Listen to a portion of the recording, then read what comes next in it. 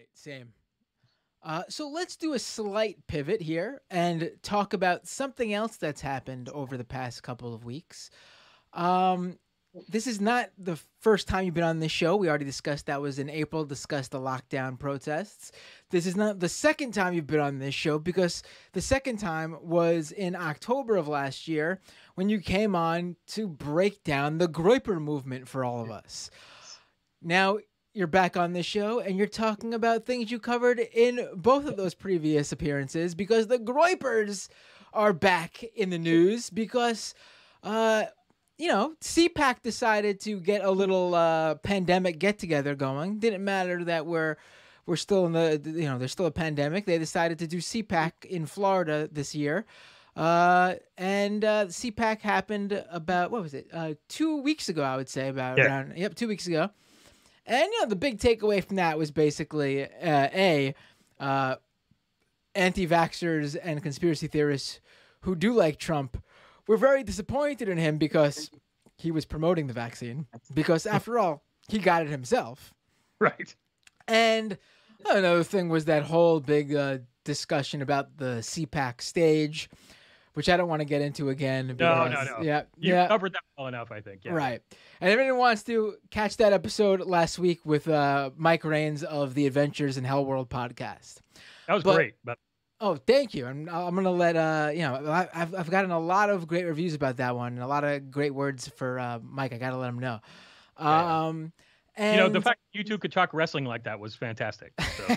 and you know what? The interesting thing was, I let uh, I think he dropped all the references uh, that episode. That was a first oh on yeah, the show. no, no, he was seamless at it. It was great. Yeah, a show, a, a d- episode of this show where I wasn't the one dropping the wrestling references. I'm, I was surprised, uh, but there was another right wing uh, uh, conference going on that same weekend in Florida, and it was the Groypers conference.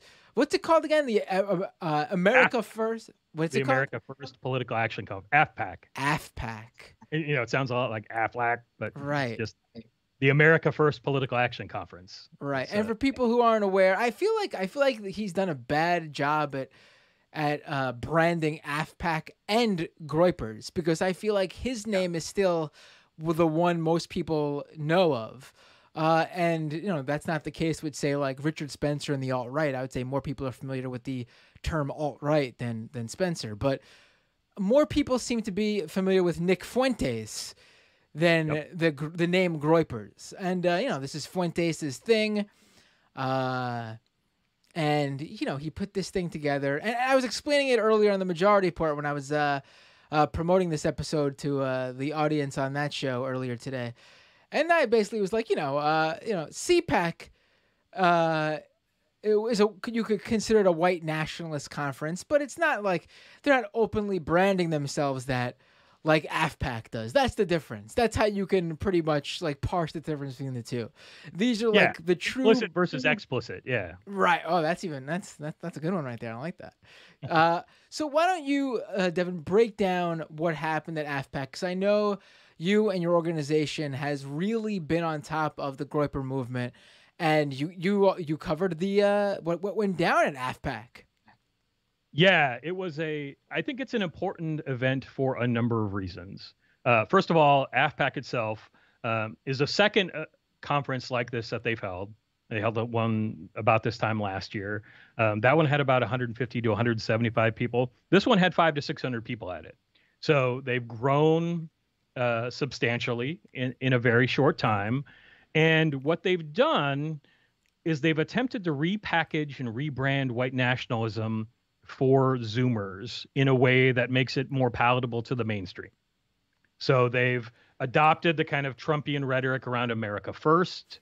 They've tried to use language around immigration and demographics to try to appeal to this larger constituency.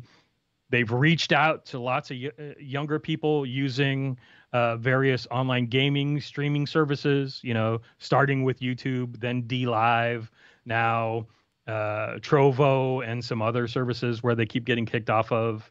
Um, so they've developed this following of tens of thousands of, you know, uh, of Zoomers who are interested in the the kind of melding of white nationalism with pretty hardcore misogyny um, into what they're they've dubbed the Groyper movement, which is an effort to um, essentially move the Overton window of the Republican Party in the white nationalist direction, right? They want to attack groups like Turning Point USA and um, Young Americans for Freedom and really start to force them to um, either become more openly white nationalist around issues like immigration and other issues around race or get crushed. That's their goal. And they're waging that, you know, they're waging that war on college campuses, uh, online, and everywhere else they can find a foothold. And in doing so, what they've done is they've also created a following within some Republican circles. So the big thing that happened at this year's event that really made it stand, stand out from any of the other white nationalist events we've covered for a really long time was that they had a sitting congressman speak at their event, as well as a former congressperson, share the stage with them. So you had Arizona Representative Paul Gosar speak at the perform, you know, at the at the event and give the lamest performance of anyone at the event. Um, creepy lighting aside, his performance was dulled by a message that was largely regurgitation around wanting to protect free speech and trying to uh, appeal to that younger generation to to and to speak the language of America first. So, in essence, by him being there, he gave them the credibility and the standing that they they have so long desired inside Republican circles, and really helped um, move them a step closer to the mainstream. You know, you also had uh, Representative Steve King speaking there. You know, the guy who lost all his committee seats because he said, "What's wrong with being called a white nationalist?" Um, former representative, I should add. Yeah, former representative. Yeah, who's now out of Congress. Um, you know, he was a representative from Iowa, but he also helped give some status to that event. Uh, you know, those are big things to have a former and a sitting congressperson speak at, at your event. Um, and in addition to that, you had a few people of color speak at the event to largely promote the same kind of messages and to try to, you know, deflect the charges about racism in the group. You had Michelle Malkin, you know, the who calls herself the Groyper Mommy, um, who has uh, a long-standing tradition of extreme nativism and Islamophobia. You know, she's written a book called Defense of Internment about right. the you know Japanese internment. So that's how far out she is. Uh, she writes for the white nationalist publication VDare, but she is one of those folks who have tried to help, you know, in this rebranding effort, and she did very much along those same lines on the stage at AFPAC. And then you had um, you had uh, John Miller, a writer for the Blaze, there, African American guy who got up and essentially repeated some of the same mantras about, you know, the, um, you know, the attack on you know on America first and the necessity for doing that. In essence, again, trying to to deflect some of the charges of racism from the group, even though he's making essentially the same arguments. And then you had folks like um, you had folks like Vincent James, a Groyper from California, get up and talk about how they're going to try to um, start running primary candidates against the Republicans in 2022 to create a real far right reactionary insurgency, in his words.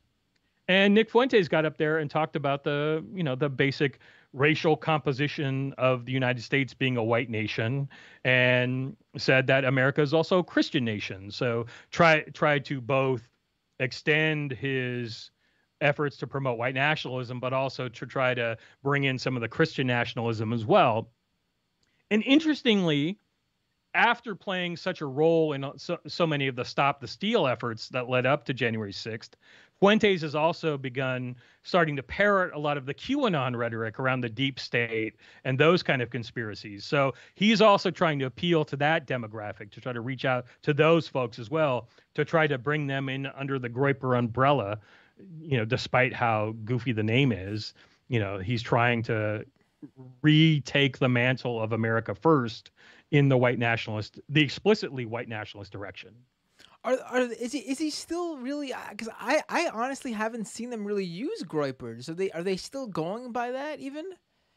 They're not so much. You know, they, you know, he, he's now really bought into the whole America First brand. So they're sticking to that. They still will talk about the Groyper Wars and how he's a Groyper general. And they still give out little Groyper stickers at the conference, but they're, you know, but they're largely moving on beyond that. They're trying to, you know, again, recast themselves. It's a constant, you know, influencer influencer rebranding effort that goes on with Fuentes and his compadres. I'm, imagining, I'm imagining, like like you said, like a a QAnon believer with everything that they they uh, they follow, uh, saying to themselves, "I don't know about this Groyper thing. That sounds funny." I mean. Uh, yeah. Uh, but yeah, yeah, good point you know, Fuentes really is it really just the platforms they're on? Like, I don't. It, it, honestly has been a little bit surprising to me how successful Fuentes has been at becoming such a big figure to the the future, I guess you can say, of the far white right and and white nationalist groups. You know, there's been a lot of personalities who've come and gone, a lot of personalities who've still been, you know, uh, hacking away at it but Fuentes has been surprisingly successful when compared to some other people, in my opinion. Oh yeah, I think his success is far greater than we ever anticipated. I think it's because he has that ability to constantly shapeshift his message to appeal to whatever audience he's in front of. Uh, he's got uh, you know solid speaking skill. He's got that sense of irony and um, you know, and that comedic, somewhat comedic timing that makes him unique for that crowd. And he's also, you know, climbed up on the backs of a lot of white nationalists uh, to get to where he's at. You know, he wouldn't be where he was without the kind of organizational um, support that he got from people like Patrick Casey, who ran the American Identity Movement, which before that was known as Identity Evropa. Um, you know, they've since split largely over the the decision to hold this conference. Um, but they, you know, what, what but, was the but, disagreement on that? It it was a pretty public, ugly dispute. Um, Fuentes was going to go ahead with it no matter what. Casey said, "Look, it's too soon after the January 6th stuff. We need to lay low. You're worried about the optics. They're worried about the the potential for um, doxing." and worried about um, the potential for you know conflict at the event, so we should hold off. Fuentes went ahead and said no, and then totally threw Casey under the bus and started, you know, in a long uh, interview on one of the on one of the streaming programs. I think it was on Killstream. Went on and on about all the bad things that Casey's done in terms of being, you know, not an effective leader and eh, unable to organize, and oh, he didn't get the banners for the last conference, and on and on and on. Um, despite all that, you know, I think Fuentes decided that he'd gotten all that he could out of Casey and was moving ahead, and he's now got uh, bigger sites in mind. You know, he's really looking at trying to capture the you know the hearts and minds of young you know, young Republicans and move them in that direction. Uh, so one of the things that, in addition to these two Congresspeople, uh, that was noteworthy about AFPAC Another notable attendee, which we just uh, this evening released a new piece on, uh, was an attendee um, called uh, Matt Braynard. Matt Braynard was one of the original data guys on the Trump 2016 uh, campaign. Uh, has done a lot of data work as well as a lot of work around voter integrity. You know, trying to clean clean up voter rolls and you know make it harder for people to participate in the democratic process. Um, Braynard was it not only in attendance at the at AFPAC two, but he was also a vendor there and looking to gain new clients. Right, he had a prominent exhibition at the event and was using it as a way to kind of merge his efforts around. Um, you know, voter turnout and voter suppression with the Groyper efforts to move forward and start running candidates. So we fully anticipate in 2022 to see at least a handful of Groyper style candidates running for office, trying to move the Overton window around the party even further in the white nationalist direction, um, particularly around issues about immigration and COVID. Um, and so, yeah, so I think we're going to see some more young candidates stepping up, running for office, getting experience. And now they've got some people with some technical skills like Braynard on board to run this. And Fuentes is also sitting on a ton of cash. He recently got a a massive do- a Bitcoin donation from a French programmer who later committed suicide. You know, I think he got the, the equivalent of right now around half a million dollars in Bitcoin donated to him from this from this programmer, um, and that's helping him fund a lot of these efforts. He's also raising money on his various platforms, um, and well, he's only accepting cryptocurrency now. But Oh, go ahead. Well, there's, there's, a lot here. Hold on. I, yeah. you know, I, I, might even have to cut this up into two separate podcast episodes: the the COVID first half and this Groyper half, because I wasn't expecting uh, these sort of revelations. What I missed this. A, I, honestly, what you just said, if this was to happen to anybody outside the right, the right would be talking about some big, like Epstein didn't kill himself level conspiracy theory uh, in terms of uh, someone receiving a massive donation from someone who then goes ahead and commits suicide shortly after. Who, yeah. who who is this who is this programmer this this you know he he's an I forget his name now but he's a you know I think um there are a few different pieces on it that go into kind of his background. He was a you know kind of disaffected French programmer, a young guy who was kind of uh, loosely affiliated with the kind of incel movement there in France. Uh, was also attracted to white nationalists. So before committing suicide, he gave a massive donation to uh, to Fuentes, who got the largest chunk, but also to Patrick Casey, to VDARE, and a few other white nationalist organizations.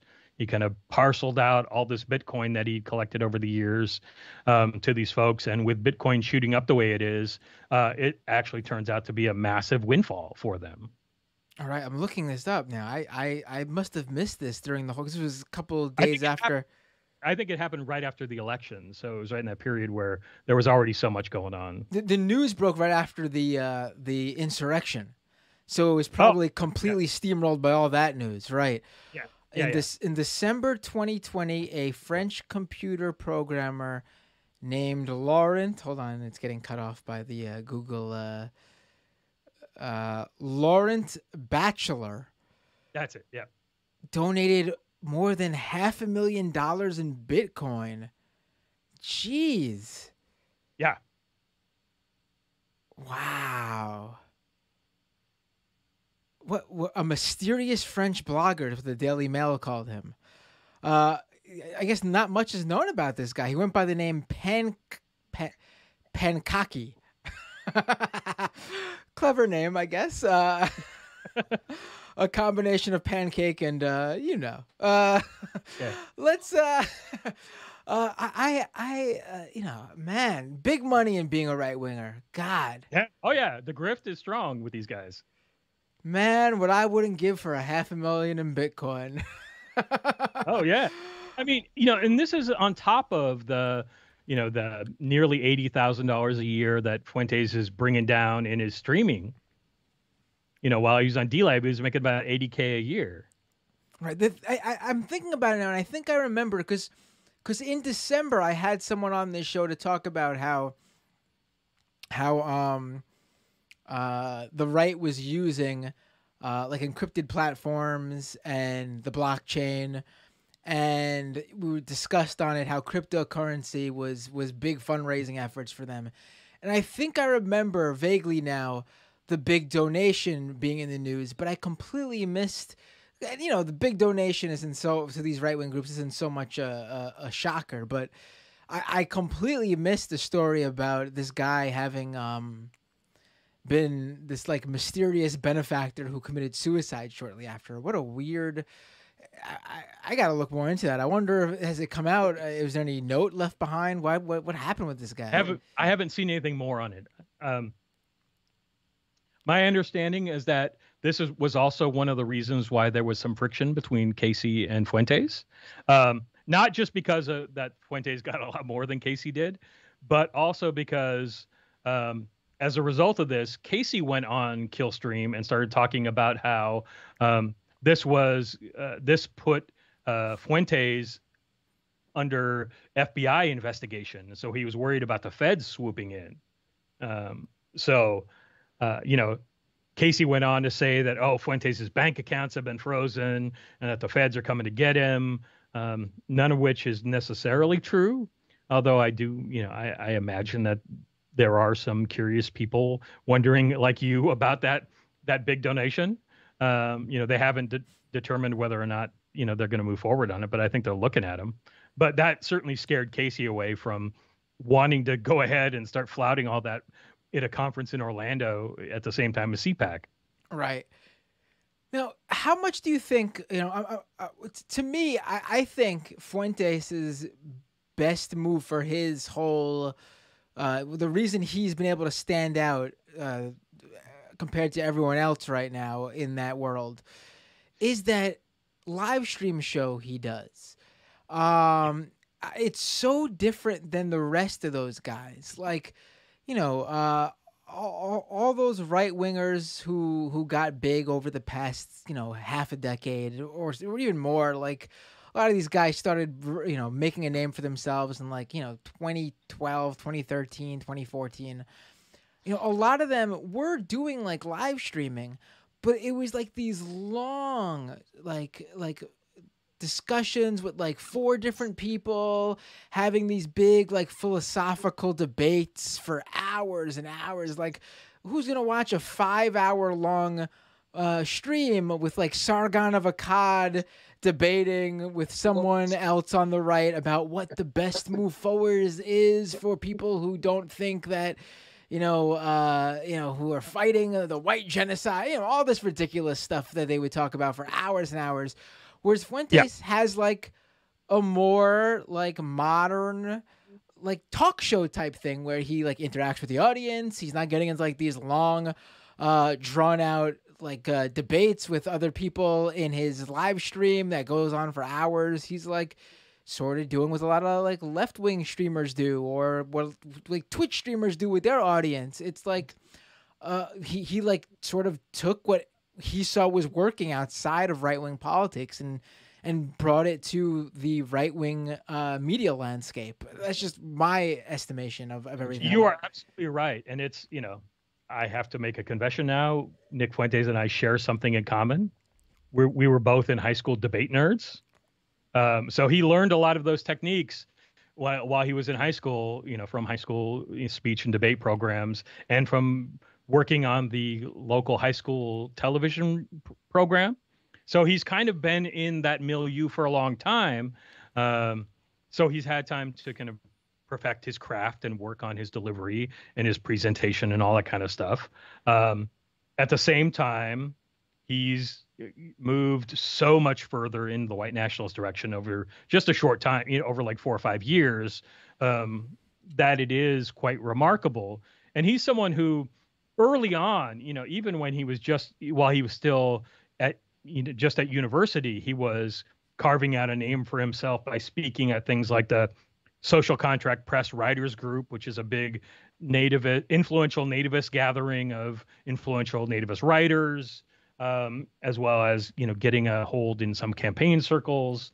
And interestingly enough, he started out as a supporter of Ted Cruz, and now he's moved. You know, he's he has certainly changed his opinion on that dramatically as he's become more of a proponent of openly fascist ideas and the kind of you know notions about you know white white uh, dispossession and the position of white folks in the country. So his transformation in a very short time is one because he has those skills that we're going to pay close attention to. I was talking to our founder Lenny Zeskind the other day, and he was talking about how Fuentes, in some ways, reminds him of a combination of a young David Duke combined with the kind of snarkiness and attitude of a young Lincoln Rockwell. Um, so that in and of itself is kind of a terrifying mix of of figures. Um, so it, he's definitely one to keep watch on, but he's just one of a whole constellation of these figures that they brought under the Groyper umbrella and are now they are literally preparing to start running for candidates, running candidates for office in 2022. And I don't think that um, many people are prepared for that yet. Um, I remember back when Duke ran for office the first time, uh, and there were not a lot of folks who were prepared for that. And as a result, he ended up winning a seat in the Louisiana State Legislature, at which time he was selling Mein Kampf out of his legislative office. So, do I think that this is going to be problematic? I do. I think it's going to be one of the things we got to watch moving forward. Right. And, you know, I, to, to speak to that too, I think there's going to be a whole you know range of issues with with those type of guys running. Uh, if you think you know, take what happened with uh, Marjorie Taylor Greene when she ran for office. Uh, her opponent, her Democratic opponent, dropped out, and he said he was getting harassed and, and receiving threats from her supporters, her her QAnon supporters, and he had to drop out. He just he just couldn't deal with it.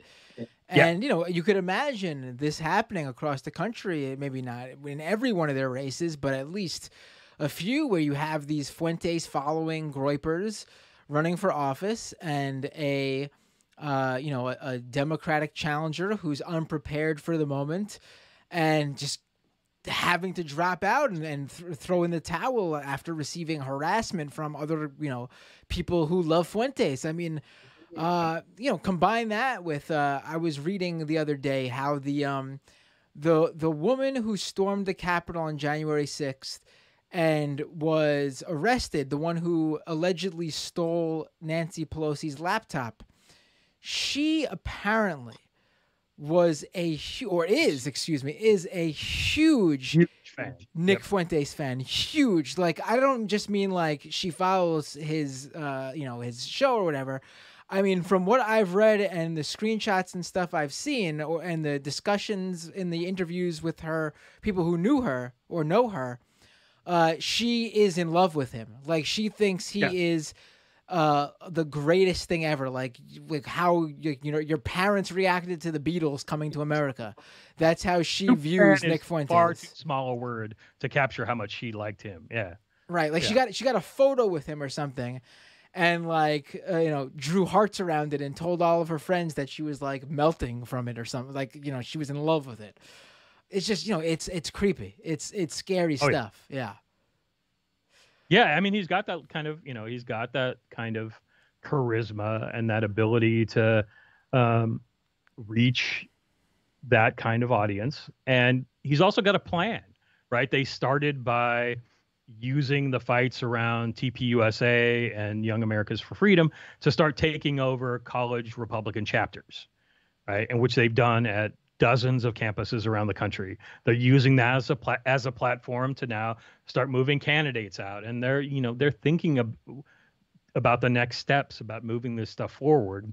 Now that they've seen an opportunity under the Trump regime, they think that they have the ability to start kind of recrafting and molding the America First message to keep that um, base moving in their direction for the long term.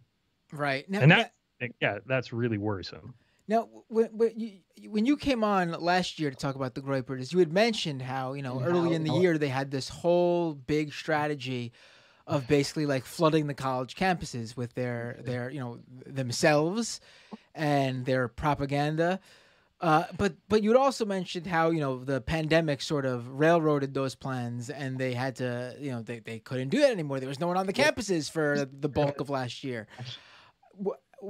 Were they able to to? I mean, obviously Nick Fuentes, Nick Fuentes' live stream probably was a huge uh, uh, replacement strategy for them in terms of you know, swapping out the college campus strategy with the Nick Fuentes show strategy. But was there anything else they they they, they moved to so they could st- so they were still able to stay relevant? Streaming was the big thing for them, right? So it was not only Fuentes, but you had folks like Jaden McNeil, Patrick Casey, uh, you know, a whole core of them not only had their own shows, they also did a lot of video game streaming together. You know, these would be those hours long uh, video game chats while they were, you know, playing Fortnite or whatever else. Um, and they would bring in folks like Baked Alaska and a whole bunch of other folks uh, to kind of, you know, shoot the, you know, to sit around and gossip and talk about, you know, all kinds of racial, ethnic, and gender stereotypes and um, just try to be cool. And um, and it worked for them. I think they they carved out a niche for themselves uh, amongst the, that that streamer world. Um, you know, amongst the folks who lean to the right, they became personalities and celebrities um, and influencers, and they were successful at using that primarily. They've tried other venues, right, and they keep getting kicked off of them, but they've done so in a way that they use the act of getting kicked off to gain more publicity, right? So Fuentes went on, you know, showed up on TikTok and did so in such a way, you know, that he knew he was going to get kicked off. In fact, he invaded the the TikTok board meeting as a way to kind of make his presence known and then get kicked off on the platform. Just last week, he showed up on Clubhouse, you know, for just a brief period of time. I think he lasted on there for three hours, but again, used it to use the publicity to say, "Oh, I'm such a controversial figure. Look at me. They're banning me from even Clubhouse. What do I, you know? What am I saying that is so controversial that you want to hear?" Right? It is really using that old strategy of rebellion uh, and fighting against the system uh, to try to make them uh, make a name for themselves. Right. you know, it's it's it's I'm actually, you know, I I I underestimated Fuentes to be honest. Me too. You know, back when you know all the names were were coming out in 2015, 2016, these are the the major personalities who are carving their place in the Trump the Trump world, you know, the the Trump cinematic universe. You know, Fuentes was one of those guys who I thought, you know, he'll he'll he'll he'll have his moments, but he's not going to be one of the standouts. He's not going to be someone who like is standing atop the mountain because there's going to be other guys who who are more successful at doing that. And, you know, as some of these guys are falling out of the spotlight or dwindling away into uh, irrelevancy, Fuentes is one of the few still standing uh, strong. It's it's quite it's quite surprising, honestly. Oh yeah, I mean, and he's been able to avoid the you know the stigma of being around so many of these massively controversial events. Right? He was at Charlottesville, and that hasn't really stuck to him. He was a massive participant in the Stop the Steal efforts and was organizing, you know, a kind of his own rump rally at uh, the Capitol on January 6th while he didn't go inside the Capitol uh, when they breached the, the the doors and the windows. Uh, some of his supporters did, and there have been at least now a couple of them who have been arrested. You know, it was his America First flag that flew throughout in the Capitol halls and on the floor of the Senate. Um, one of the guys from the guy from UCLA who was arrested uh, was a well-known groyper and a big another big fan of Fuentes. All right. Uh, well, I guess uh, Devin, I'll be having you back on this show when uh, when there's a whole uh, a whole lineup of groypers running for for office. well, hopefully you can have me on to talk, you know, some about something more interesting. We can talk music or something. right? Yeah, yeah, yeah, something. right. Uh, thank you so much for joining me today, Devin. You know, between the the the COVID uh, update of where these mask anti-maskers and anti-lockdown people are at, and how the right is still weaponizing uh, them even when they don't know they're on the right, and the Groyper uh, conference that. Uh, seems to be the kickoff of something much bigger for Nick Fuentes in the coming years. Uh, you, you, uh, a beacon of uh, good news and hope, and uh, in a in a in a oh. world that's becoming more difficult to live in every day. Uh, yeah, let's uh, yeah, uh, let's do it again sometime. No, but for real. Uh, always a pleasure when you you come on this show, Devin. Um, Devin Burghart, everyone, executive director of the uh, Institute for Research and Education on Human Rights. Where can people find your work and follow you? you know, they can find me at our website, which is irehr.org, or follow me on Twitter at D Burghart. That's D B U R G H A R T. And I hope, you know, if any of your listeners out there are interested in learning to do the kind of work that we do, uh, hit me up. We're about to do another series of research trainings to kind of walk people through how we do what we do uh, and to get more folks engaged in it because there's way too much activity going on for any one organization. The more folks we've got out there who have skills to track this kind of stuff, the better. Right, yeah, yeah. Especially since all, all these uh, figures got deplatformed, and now instead of just knowing at least like you know we can follow for the most part the the main you know thread lines on like Facebook and Twitter and and YouTube. Now there's literally like 20 to 30 different platforms and still more coming and growing every few weeks it seems like. Oh, yeah. Yeah, it's interesting. You know, it's good that there's a platform so they're not you know spreading this stuff to uh the broader public, but it's made uh, the life of the people who track the, these guys uh, exponentially harder, to be honest. I'll take the trade off any day. Yeah, that's true. That's true. Thanks a lot, Devin. Have a great night.